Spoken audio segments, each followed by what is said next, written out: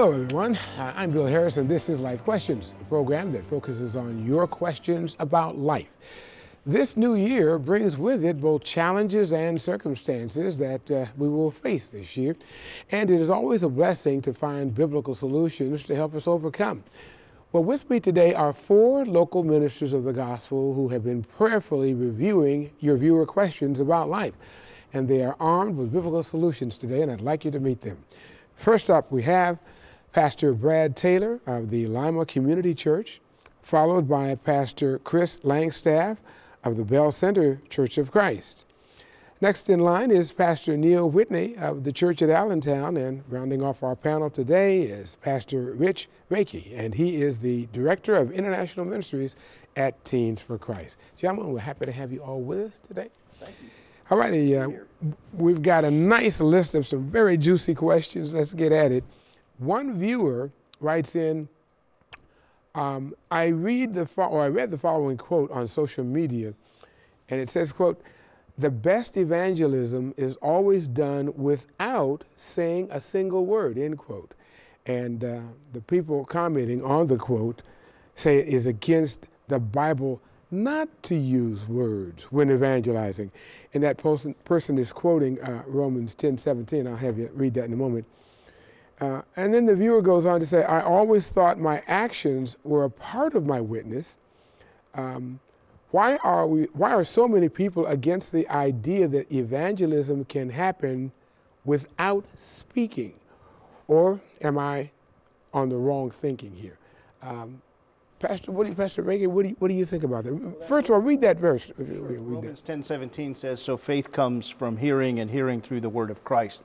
So obviously the the the message of the cross has to be proclaimed in some way, shape, fashion, or form. But when I read this question, the first thing that came to me is I, I was a, a good kid.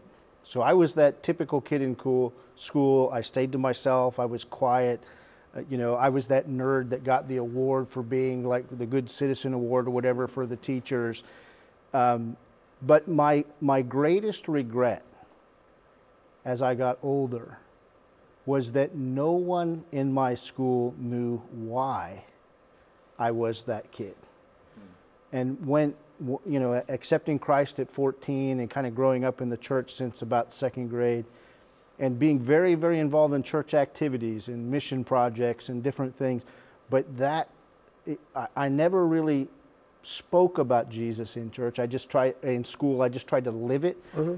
Uh, that's probably the greatest regret in my life is that there were friends and classmates that had no clue that it wasn't me, it was Jesus mm-hmm. that was making the difference. And so I think the the person who asked the question is right. My actions are a part of my witness, but they're not the full witness.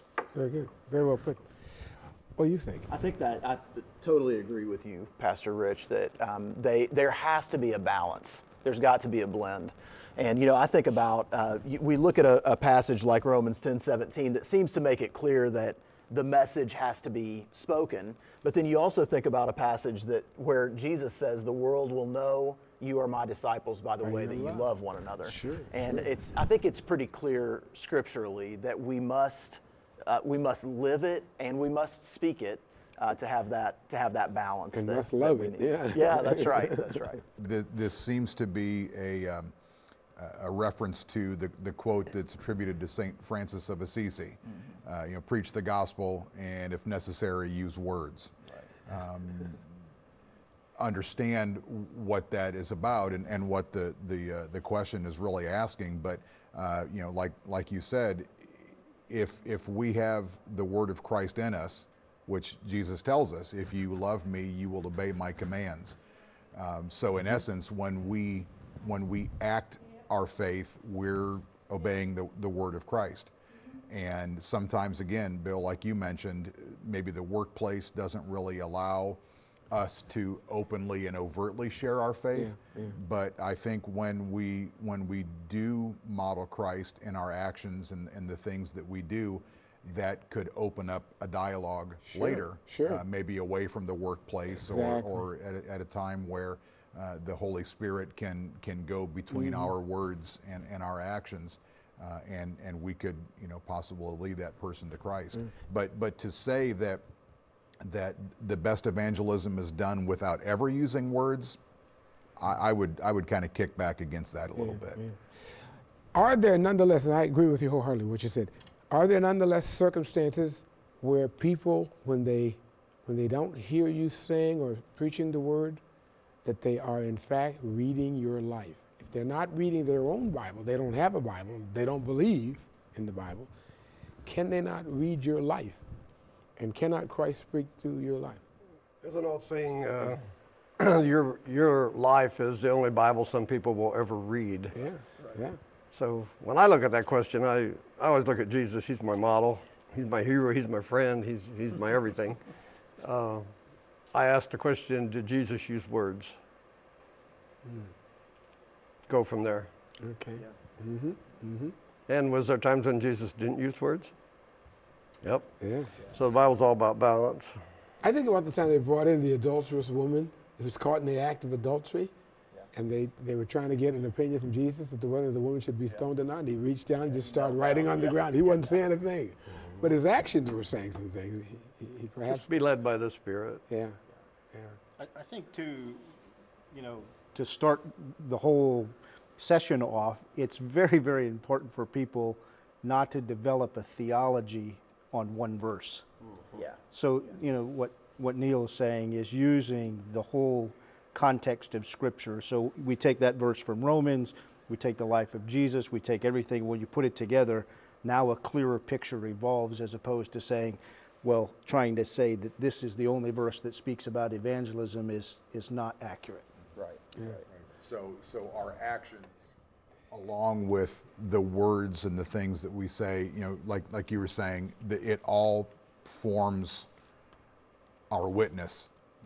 And to to emphasize one and ignore the other, I think is is a mistake, um, regardless.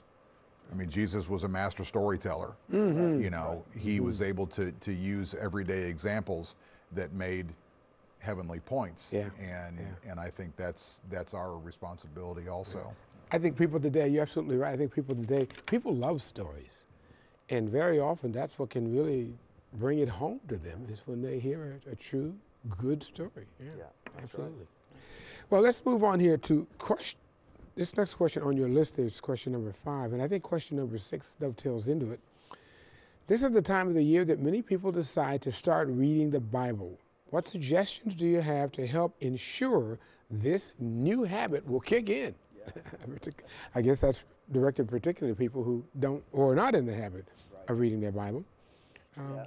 Uh, So, Bill, I think that uh, first of all, the you know as we as we've turned the calendar to the new year, a lot of people are thinking about things they might ought to change or, or you know new habits they want to pick up. And uh, I think we would all say as pastors that we would hope that if there are people who are engaging in their faith who aren't actively reading Scripture, that they that ought to be part of our practice uh, in our in our walks with Jesus. And so, well, I think one of the first things I would say to somebody who's in that situation is to be reasonable with your expectations. Don't Meaning what? so don't expect that if you've not if this hasn't been part of your life at all, don't expect that this week you're going to start two hours every day reading your scripture. It's just not realistic. Uh, find a find something that's reasonable. Bite off a, a piece that you can chew, you know, before you dive into um, that. This is what spiritual growth is. Over time, you give yourself more to it. You, um, uh, you allow more. You you thirst for more of it over time. And so I think uh, just being reasonable up front. You know, not feeling like you've got to. Uh, uh, tackle a certain amount or a certain amount of time, something like that. So time management really comes yeah, into play here. yeah, for it? sure. Simply do it. Yeah. So, uh, no matter how little, or there's so many apps out there now that I mean, you can listen to the Bible, you can play the app. It can be a verse of the day, it could be a chapter a day, it could be, you know, whatever is digestible, could be a lesson. Just do something. Anything that you do is better than what you're not doing now. That's right, that's right. And and but I would also say give yourself grace. So if you miss a day, don't chuck the whole habit for the year. You know, if you, if you stumble February 1st, don't think, well, the, the year is shot. You know, just pick back up and keep going. Yeah. And so uh, I, I think just getting into it, whetting your appetite i- is key. Okay. Pastor, you, you want to have anything to say about that? Uh, number one, anything you're going to do, have a great why. Why am I doing this? Sure, sure. And what do I expect to uh, attain through doing this? So, why am I doing it? What do I expect to attain? And then the third thing would be have an accountability partner. Ah. Now, how would that be used? How do you execute or implement that exactly? The the, the partner. It doesn't have to be a live accountability partner. It can be. It can happen through texting. It can happen through email. It can happen once a week at church. What uh, dialogue are they exchanging in, in this? Um, in Oh, this it's just exercise? basically a friendly accountability. Mm-hmm, mm-hmm. Did you do this week what you said you were going to do? Yeah, It's just that simple. I have a lot of people who hold me accountable. And if I didn't, I wouldn't make much progress on my own. Very good. Well, listen, we're going to take a break right now. When we come back, though, a, a related question, and this viewer is asking, what is the relevance of the Old Testament? So, as we consider reading the Bible, taking up devotions and the like, should the Old Testament be considered in that process as well? We'll deal with that and more when we come back. Don't go away. We'll be right back. Don't go away, there's still a lot more discussion to come on this episode of Life Questions. But first, do you have a question for a future show? Email it to lifequestions at WTLW.com or call us 419 339 4444. You can also suggest pastors you feel would be a good fit for our panel. Again, send your question ideas and pastor suggestions to lifequestions at WTLW.com. Now, back to the discussion. All right, we're back, and we thank you for staying with us. And here's our next question. It's related to the question we just got through studying, uh, uh, basically. I'd like to hear a discussion about the relevance of the Old Testament for modern day. Is it relevant? Why do, uh, why do we only follow certain standards or guidelines presented and not others? And who determine what, who determine what we will do and won't do? You know, there are some things that carry over from the Old Testament to the New, and there are some things that are that are abandoned now that we're in the New Testament. part of it has to do with how you view scripture initially. So what what is this book and what's it for? That's a basic question. And the way I frame that question in, in discipleship is this is God's authorized biography. Right? This is God's revelation of himself. Mm-hmm. And so it isn't just the revelation of Jesus Christ, the last book of the Bible. All of Scripture is God revealing Himself. And if we read it that way, it changes the way we read the Word. It's not about a history of a people, it's not about uh, categorizing human character, it's the story of God. It's God revealing Himself. How does He relate to people? What are His qualities and characteristics? What does He want from us? What are His expectations? If you approach the Bible that way, then you don't get lost in all the, the muck and the mire and the details that scholars want to argue about. The- you know, beyond that, then you can talk about ceremonial law, moral law, rules for the nation of Israel, rules for the kingdom of God, you know, in perpetuity, that, those are other questions, but I think it starts with that foundational question of do you really, if this is God's revealing of Himself, why would you want to ignore three quarters of it? This is E- even if you don't understand it all. yeah, yeah. This is good for me to hear because I'm doing some research now for a sermon on the integrity of God's Word, and uh, because the world tries to diminish it all the time, they write it off.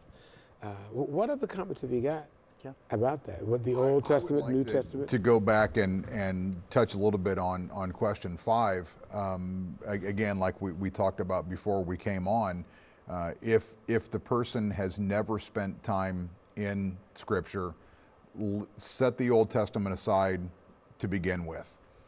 Um, as a matter of fact, I just started a sermon series this uh, past Sunday about how to read the Bible.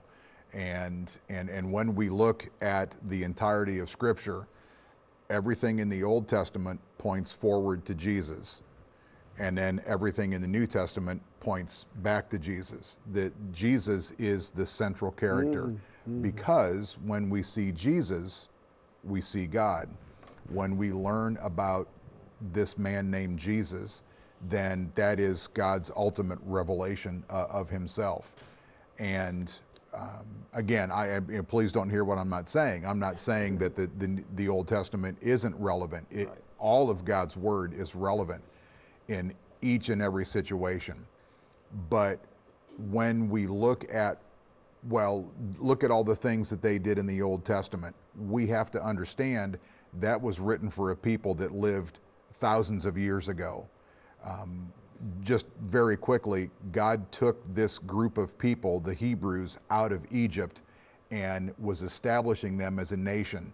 They spent the last 400 years having other people think for them, other people tell them what to do, other people. So, so God, in essence, is starting from scratch, saying, "This is how I want my people to live." That's the Old Testament law. When we come to the New Testament, Jesus says, I haven't come to abolish the law, mm-hmm. I've come to fulfill it. So everything that we read about in the Old Testament is ultimately fulfilled in the person of Jesus. So we, we go through maybe some of the passages in Leviticus. We say, well, uh, if, uh, if, a, if our son is disrespectful to our parents, we're supposed to drag him to the gate, uh, present him to the elders, and then he's to be stoned to death. that was the law back then. Yeah. Okay? Anything that we read in the New Testament that confirms what we read in the Old Testament, that's something that we should focus sure. on. That's something we should look at. Mm-hmm. Um, we're, we're, not supposed to get tattoos for the dead. Okay, Jesus never confirmed that. Jesus never talked about it. Never addressed that in the New Testament. So, so those we can set aside. Some of the dietary laws we can set aside again because those were written to a specific group of people at a specific time. So, so when you look at the Old Testament, don't get caught in the the muck. I believe you said. Yeah. yeah don't don't get so caught up yeah. in the things that we read in the Old Testament. Focus on Christ. Focus on on what He told us to in other, do. In other words, don't major in the minors. Yeah. Mm-hmm. yeah. Is that what you're saying? Yeah. What about you, Pastor so Brad? I, I, think that um, maybe just bits and pieces of what each of you have said that I'd, that I'd kind of bounce off of a little bit. First of all, it, the, the answer to the question, is the Old Testament relevant, is yes. We would all agree with that. There's no question that it is relevant. It is communicating truth about God. This is what you're talking about, Pastor Rich, that it's teaching us about God's character, about His uh, his story of redemption and renewal and recreation of, uh, of creation. Uh, it's, there's no question that it is relevant. Um, I think that, you know, Pastor Kris, to, to address some of what you're saying there, um, we ought to be asking the question about what type of literature we're reading when we read the Bible. You know, one of the things that I teach the people that I am pastoring is that we ought to think of this as more of a library than a book. It's, uh, it's filled with all different types of literature. And, mm-hmm. you know, the reality is if we were to go to the library and pick up a, a textbook, a history textbook, and a book of poetry, we would read those two things differently. They would be communicating different things to us in different ways. And we ought to think about that when we read Scripture. And a lot of times that comes up in the Old Testament because we're, we're wrestling with what do these things mean for us? These things that were written in a particular context to a particular people, what do they mean for us? And I think it's just good for us to think critically about what, what is the type of literature we're reading and how should we read it? You know, through what lens should we read it? But not discounting that it is teaching us an important truth about who God is. Yeah. All right, good. I think we're good. You had, you had, okay, go ahead. It says, Who determined what we still do and don't do? The answer to that question is the Holy Spirit determines what we do and what we don't do. Mm-hmm, mm-hmm. Excellent, excellent. All right, that wraps it up. Now, another question uh, that I think we really ought to address. We are now in a new year, this viewer says, but many families continue to feel the financial pressures from the economic struggles in the previous years. What advice or biblical scriptures can you offer to help ward off the fear and anxiety that some may be facing right now. Think about that. There are over 2,300 scriptures in the Bible that pertain to money. in fact, in the New Testament, there's more said about money than heaven and hell combined. Yeah. yeah. Well, the so, acronym for fear Oh, yeah. is yeah. false evidence appearing mm-hmm. real. Mm-hmm. So that's the number one place to start. And and it's it's so interesting that that the description of faith and fear are the same. It's believing something's going to happen that hasn't happened yet. So you have to be very careful in that realm. So God did not give us what? A spirit of fear, but of power and of mm-hmm. love and of a sound mind. Mm-hmm. That's where you start. That's excellent. It's a good. fo- It's a good foundational for the, the questions that, or for the answers that you're, you're coming forth with. Two things came to me. Uh, of course, classic passage from Matthew chapter 6. Therefore, I tell you, do not be anxious about your life, what you'll eat or what you'll drink, nor about your body, what you'll put on. Is not life more than food, and the body more than clothing? Look at the birds of the air. They neither sow nor reap nor gather into barns, yet your heavenly Father feeds them. Are you not of more value than they? And of course, the passage goes on that God knows our needs and He's going to provide. And it, do we trust Him or do we not trust Him? And, and then down in chapter 7, this is something that God just confirmed to me in the last six months over and over and over again. Mm-hmm. Um, the whole passage about ask, seek, and knock. You know, mm-hmm. asking will be given to you, seek and you will find, mm-hmm. knock and it will be open to you.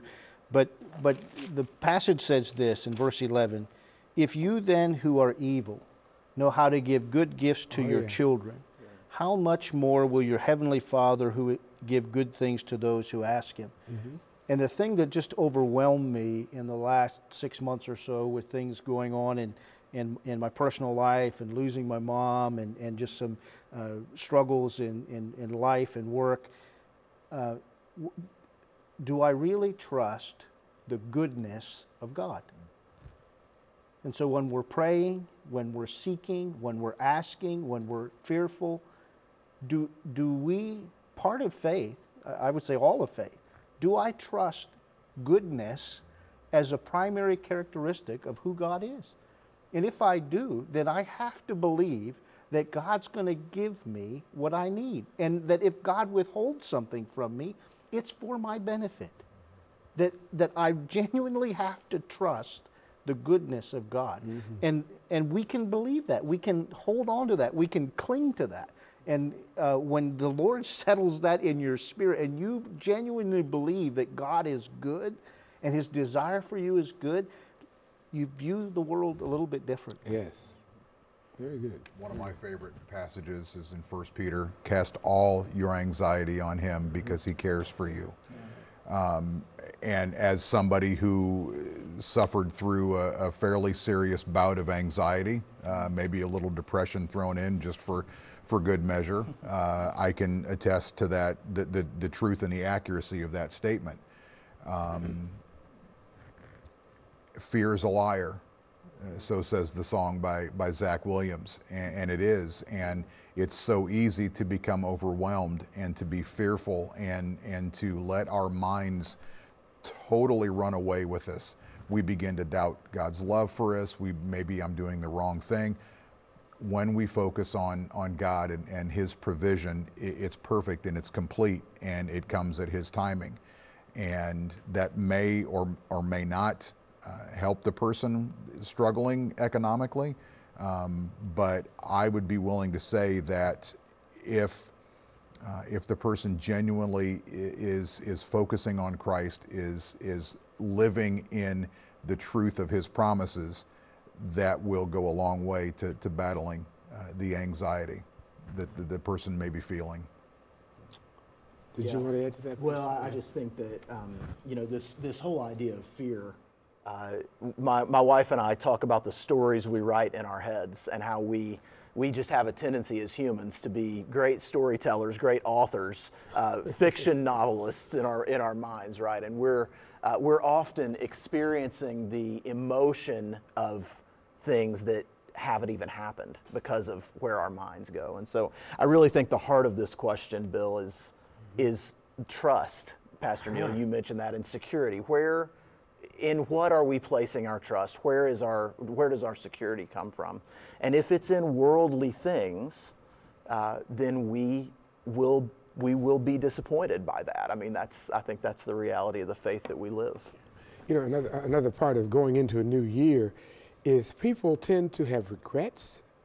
They have, uh, and then they have uh, misgivings about the current situation, and they have anxieties about the future. Yeah. So I, I think that it's, it's, it's important if you're going to move forward in your life to set some plans in place and commit those to God or allow, allow God, more importantly, even allow Him to give you His plan and His, his purpose of your, of your life to propel you forward. And when you know what, what it's all about, you know, asking God that question, why on earth am I here? Mm-hmm. And He gives you the answer to that, it, it can dispel a lot of those fears that we have. Do you think? Yeah. For me, the whole process is three steps trust God, like Rich said, and then do your best, being led by God, mm-hmm. and then trust God for the rest. Yeah. I'm not a big one. I, I don't think my dad always gave me things to do, and he trusted me to do them. There's that trust word. Hmm. And I was expected to do my best because he always said to me, if I didn't have time to do it right the first time, when would I have time to do it over? so trust God, do your best, trust God for the rest. Yeah, and that sums it up. We, we, we're all out of time too, by the way, and uh, but but that that sums it up. Appreciate your dad. Is, is he still with us? Uh, has he gone? He's gone now. Okay. Well, we thank God that he uh, passed that on to you. What's our program for today? And uh, you know what? This same fine panel will be back with us again next week. So if you enjoyed what you heard today, you want to make sure you tune in again next week at the same time. Until then, I'm Bill Harris. Have a wonderful day and the beginning of our new year. Bye bye.